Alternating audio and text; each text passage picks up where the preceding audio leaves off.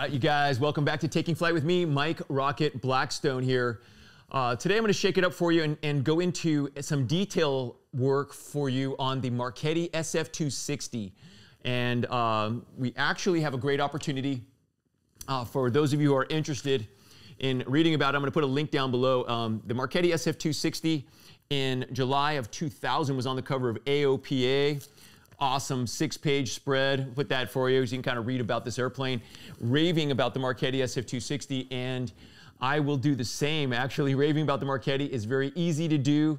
Uh, I must be one of the highest time Marchetti pilots in the country, possibly the world, that has been flying them for literally 30, 34 years.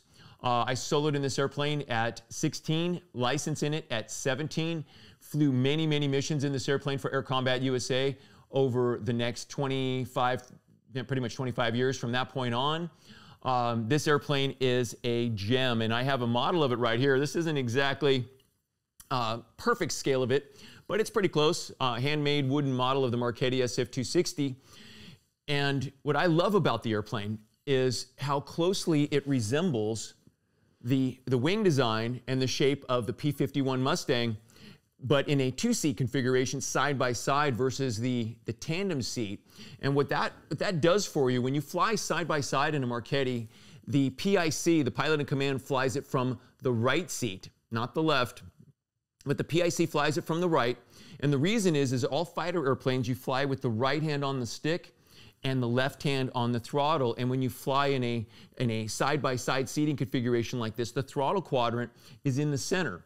So you've got your throttle moving on the, the outboard, the prop control moving in the center, and then the fuel control or the fuel cutoff um, mixture control on the, the inboard of you. So the pilot needs to be able to fly it with his, with his right hand or her right hand and be able to do, manipulate the engine controls with the left and then the fuel selector is right below the throttle quadrant as well, which is super important. So that, that's the primary reason that the pilot in command flies it from the right. And then, of course, all of the, the instrument stack is on the right. In the, in the Marchetti uh, SF260 1988 model, which you see uh, in this video that's coming up here, you'll see it has an Aspen uh, attitude indicator and HSI on the right for the, for the PIC and a 530W on the left for the primary nav display as well as a, uh, the primary radio and then a KX155 secondary radio and the intercom up on top to select which radio you're using. From the right seat, that's where I reach up and grab the, the gear handle is straight below the, the eyebrow or the, the, the dashboard, if you will. That's where I reach up for that with the left hand after takeoff. And then the flap control is near there as well, shaped like a flap. I'll show you where that is as well. So from the right seat, you can reach everything. You can fly it solo from the right, and you should. When you're learning to fly it, you fly it in the left seat, and it's totally dual control. So the, the right stick and the left stick are totally interconnected. The rudder pedals on the right side and the rudder pedals on the left side, totally interconnected with brakes on both sides, which, which is awesome. They have Cleveland brakes on the airplane, which are very, very effective. Um, so when I fly it, I keep my toes really low on the pedals so we don't get a hold of too much brake um, or any brake at all while you're taxiing it or while you're taking it off so you don't uh, inadvertently skid a tire, which is easy to do. Um, the Marchetti is fast. This might be one of the fastest single engine piston airplanes ever made. It weighs about 2,200 pounds. It grosses out at 2,430 pounds. That's its, its heaviest weight uh, that it's, it's legal to fly at. With a 0540 six cylinder Lycoming engine up front and a two bladed Hartzell propeller. Okay. And this one, the 1988 that you're seeing, is a fuel injected version of the Marchetti. We have several fuel injected and several carbureted. I kind of prefer the, well, for different reasons, I kind of prefer the carbureted one. It's easier to get started, easier to operate. Uh, the fuel injected is kind of nice. It maybe burns a little bit cleaner and a little bit more power, but I, I, don't know. I could fly either one of them. It's almost exactly the same. Fuel injected might be just a touch more tricky to start when it's hot. That's the only thing I could say on that. Um, moving on to the speed of this thing. So I fly it. I tend to fly it at around 170 knots. In the article and in, in several of the spec sheets, they're talking this thing maybe does it close to 180 to 190 knots. I, I haven't really seen 190 true. Uh, I tend to do my flight plan around 170 knots to be conservative. I might get 175 out of it And the fuel, the fuel, the primary fuel uh, sources are the inboard tanks. So we take off and land on the inboard tanks. I'll almost always take off and land on the left main tank and select the left main tank for taxi and takeoff. Once airborne, I'll switch to the, the tips if I have any tip fuel at all.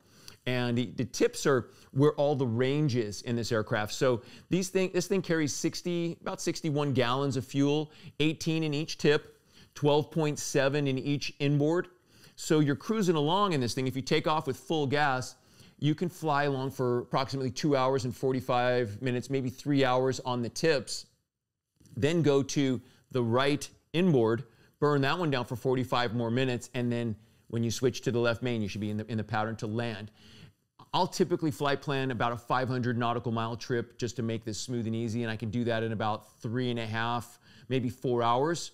They're talking about 1,100 mile range. I've never seen any range that long in the airplane. I believe they might be talking about if it has uh, external fuel tanks hanging from the wings, possibly.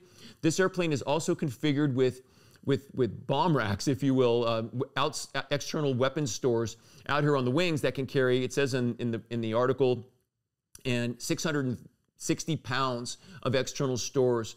Um, so like 330, like a two 250 pound bombs it could easily carry on the outboard uh, of the wings here. Also four and three quarter inch, I believe, uh, like Zuni rockets under each wing, and a minigun, like a little miniature machine gun under each wing, which is pretty awesome. So this aircraft is really designed to be a light attack fighter and a trainer. So it's a great pre-jet airplane. It flies a lot like a jet. It's it's fast. It's got a very thin wing as you as you take a look at it as, as we walk around the thing. The wing is very thin, which allows it to go really fast but it also doesn't make a lot of lift. So you'll find it's, it, it, it reaches its critical angle of attack or a little bit of a, of a rumble and a buffet like a jet wing does. As we start to pull that nose up, if we start to put some G on this airplane, we start to reach that critical angle of attack, we'll start to feel the rumbling of a buffeting in the, in the, uh, in the wing root area as the airplane's starting to, to reach the stall right? And this happens every time you pull back on the stick. As you reach that critical angle of attack on the wing, you'll feel the airplane starting to rumble just like a jet does. If you continue to pull, that just rumbling just gets a little worse. So we fly the Marchetti a lot like we fly a jet. So honoring the buffet, gentle pulls, pop up, center the stick, hard over with the stick, and the airplane rolls about as fast as the P-51 Mustang does, just about 90, maybe 100 degrees per second. So 1001, 1002, 1003, something like that is about the roll rate of the Marchetti. It's rated at plus six and minus three Gs. So what that means as, as, as we approach our, our maneuvering speed of 162 knots or greater, the airplane now has enough energy and enough speed on it to put up to six G's on it. If you're, if you're pushing 180 to 220, the red line on the airplane is 236 knots. You start exceeding 180 to 220 or 30 knots, you have much more energy on the airplane than it would need to pull more than six. So you got to be really careful on the pulls not to over G the airplane from a high speed, high, uh, high G onset and you could easily easily over G. You got enough energy to do so. So smooth and gentle on the pull, pulling up to its design G load limit is about 4.4 Gs at high gross weight. So as you start pushing above um, 20 uh, 200 pounds or so, you're in the 4.4 G window there, and you're not going to want to pull more than about 4.4 Gs when you're when you're heavyweight at all. Okay. The only time you'll this airplane will ever pull 6 Gs is if you were solo, super light on gas, and doing an air show. Other than that, you're probably going to want to fly it in about the four uh, to four and a half G range, maybe 4.7 Gs. Okay. All right. So so that's its its design beauty. Like the magic of it is super precise aileron control, super light on the elevator, super light on the ailerons, flies really balanced. It has a trim in the center uh, console, just to straight below the throttle. There's a trim wheel for the elevator trim, which you can trim out very precisely so the airplane will fly really nicely and maintain an altitude almost exactly. And then we balance the, the ailerons of this airplane with fuel. So uh, I don't have any, any trim for the ailerons. So if I have any tip fuel at all and the airplane is starting to pull a little left, I'll burn the left tip until we actually get it nice and light, and then I would switch to the right tip and balance it that way so we can get really precise aileron control by balancing fuel. If there is no tip fuel, I would not mess around with that too much. So what I would do is I'd take off with the left inboard, go to the right inboard fuel tank and burn that all the way down until I get to, you know, maybe 10 or 15 minutes of fuel remaining in the right uh, tank, and then I'll come back and land on the left inboard. So on shorter missions, that's the way I would handle it. I would not balance the fuel on short missions, but on long missions with fuel sitting out in the wingtips, it's it's when you would actually use that that feature. All right, so that is um, its primary basic general envelope of the Marchetti. Taking off and landing the Marchetti is awesome. This airplane, when you see it sitting on the ground, it sits tail low. And take, you take a look at the pictures of it, you can see that it kind of squats tail low like this, and the, the nose extends quite a lot, and it, and it almost taxis like a tail dragger. And this is because the Marchetti was designed to be flown off of unimproved strips, dirt strips like in, in African third world countries. The Philippines use this airplane a lot uh, as well. They're a major holder of a lot of Marchettis uh, for their, their Air Force. And the airplane flies a lot off of dirt strips and unimproved strips. And sitting tail low like this provides for adequate propeller clearance so that you're not sucking dirt straight into the propeller as you're taxiing around. If you were to lower the nose down to where the airplane taxi flat like this, there is there's about a foot of clearance between the propeller and the dirt. And high power settings would, would, would put a tornado of, of rocks and debris straight into the prop, which isn't good for it at all. So You'll notice it, it rides tail low. And if you look at the propeller on on a Marchetti, it's hardly pulling up any rocks doing this. This is really a, uh, it's a prop uh, conservation feature, I believe. It, it, does beautiful that way. Then that is actually the takeoff attitude, right? So we taxi the plane around without using the brakes. We get out on the runway we add power. This airplane has a lot of horsepower. So as we add horsepower up to 260 brake horsepower, that causes the airplane to slowly accelerate and starts to pull left during the takeoff roll. So what do you do? You press the right pedal, not the brake, but the right pedal, just enough to steer that nose wheel over, get the plane on the center line, begin to accelerate. As you get to about 60 knots, you lift the nose wheel off the ground and fly off nice and flat like this. Get airborne with the flaps at at half, flaps 20, get airborne. Once the airplane's airborne, we ease forward on the stick to begin accelerating, get, get a nice positive rate, get a 90 knots, gear up, positive rate, gear up, accelerate to maybe 100, flaps come up, then take those half flaps to clean, and then accelerate to 110, nice and flat on the climb. The book says it can do about 1,700 feet per minute rate of climb. I tend to see about 1,000, maybe 1,100 feet per minute in the climb. I kind of go flat and I want to keep the airplane moving fast for cooling. That's the way I do it.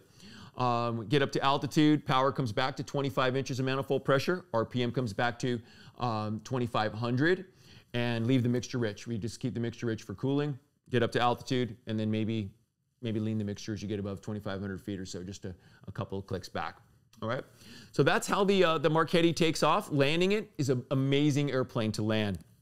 Swooping in and coming into land, um, the airplane will glide at 90 knots and uh, it's got a very low gear speed. So the way the flaps and the gear extend on the downwind after we do, say, an overhead break, which would be come over the, the runway at, at 1,500 feet or 1,000 feet if we can get it, break over the top of the field, 160 to 190 knots, break, pull the airplane around the corner to the downwind, slowing down to 120, 125 is the max flap speed, Flaps come out to half, so flaps 20. Pitch the nose up to slow down to 105. Max, flap, max gear speed is 108, so 105 or less. Gear down, full flaps. Running it down to flaps 40, the airplane will come down nice and steep maintaining 90 all the way in. If I need to control the speed a little bit more in this configuration, I'll use a little bit of right rudder with the left wing down like this, a little right rudder, a little forward slip we call it, and the airplane will come down nice and steep. Another article I, I might direct you to here is uh, teaching anyone to land a Pitts. I, I, fly the Marchetti a lot the way the fly, I fly the Pitts. So left wing down, top rudder, and uh, we come down nice and steep like I would fly the Pitts. Swooping in 90 to 100 all the way in. And once we get over the runway, power's at idle. We're going to set the attitude and hold that nose up nice and high, Let the speed roll back. Don't let it land. Get that nose up till we get to uh, about 70 over the touchdown zone, and then hold it up, and we'll touch down on the mains, and then pull a little wheelie after we land. Actually, we touch down and let it decelerate with the nose in the air. And as it gets too slow to hold the nose up anymore, the nose will come down to the ground, roll out, and at that point you can touch the brakes. Okay, so I love flying this airplane. I think you're going to find that this is one of the best flying airplanes that ever, ever was uh, invented. My dad chose the Marchetti back in 1990 for our business called Air Combat USA. What I'm about to offer you in this portion of the of the brief is the what we've managed to do over COVID. I mean, a lot of people like the, the, bad mouth and the COVID, but really, COVID was a great opportunity for us and it gave us an opportunity to rethink the business. We've been in business for 34 years. We've flown air to air combat missions, dogfighting, and formation flying all over the country in 27 cities. So I believe that this business could do well in any major city in America. Now, during COVID, I've had to make some adjustments and I had the opportunity to think, hey, what's, what's kind of a cool thing we can do with this business while we're operating in a single ship environment due to the restrictions of, of, of you know, uh, people spacing together, we really didn't want to have 10 people in a room at the same time, right? So we thought, well, let's do some single ship. We went and watched the new movie Top Gun Maverick, and we thought, hey, look at what we can do with this Marchetti. Not only can it do the maneuvers that you see in Top Gun, and we, we do aerobatics with it, we are doing rolls, we're doing loops with it, we're doing, there goes our prop, we're doing a hammerhead, we're taking it straight vertical, we're stepping on the rudder, we're doing hammerheads, we're doing spins in this thing. We can even do air to ground strike, okay? So after watching the new movie Top Gun, I began adding a single ship air to ground package where we're using our, our tracking system just like we were using for dogfighting, but now we're using it to strike ground targets. We call them our simulated uh, enemy positions, either a, a SAM site or a, uh, an enemy ship moving cargo, right? So we point the nose down at, a, at an enemy ship strafe or shoot simulated munitions at, at the target, get to a safe altitude of say 2,500 feet, and then pull off target and do a course reversal, and then you check and see how you did, right? So after COVID or during COVID, I was able to create a franchise that allows a single ship to brand the Marchetti under what we are currently doing and then allow this airplane to go on the road for us and be a represented representative of our brand in your city. So let's say you you have an interest or a desire to fly in Nashville, Tennessee. I can tell you what we did in Nashville, Tennessee.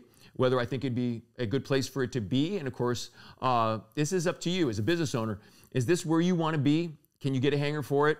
Can you get an office space set up there? And we'll help you sell missions at your location using the Air Combat brand and the 34 years of goodwill that we've had um, taking care of our passengers to this really high level. We're going to teach you how to do what we do using our franchise disclosure document. All the legalities are done, all of the safety is done. All of the modifications to the aircraft are done. This is a turnkey situation. So if you buy one of our Marchettis, which we have six of these things now, um, approximately 25% of the entire fleet of Marchettis that are in the United States, Air Combat USA is the owner of, and uh, will license the airplane to you. You buy the plane, license the brand to you, and you're going to be on your own in a new location with our support. This is a winner. So over COVID, I think we've come a long way and made, a, made some really cool improvements, making an opportunity so that you can own one of these really amazing, when you read the article on this, this accessible Exotica, this amazing Marchetti SF260, configured to, for it to be a business for you. So you can fly it, make money on the weekends. You could fly it full time if you choose to. You might fly a different job during the day. You might have a different career. You might you might be you know a business owner you know doing a construction business. But uh, what I imagine is is that a, a professional pilot who has the desire to own a Marchetti would buy one of these things with the licensing, with the branding, with everything dialed in and ready to go, and I'll help you become successful in a Air Combat USA franchise as a single ship operator. So if this sounds interesting to you, go ahead and give me a call. Send us an email. Uh, the numbers are and the, and the links are down below, so you can kind of find us. Uh, if you found this to be interesting, please subscribe to the channel. There'll be other stuff coming along for you know aviation related things, but I wanted this specific uh, episode to be about the Marchetti, how it flies, what we're doing with it. I'm going to help you be successful in, in an ownership uh, role of a Marchetti SF260 licensed and, and branded under the Air Combat USA brand.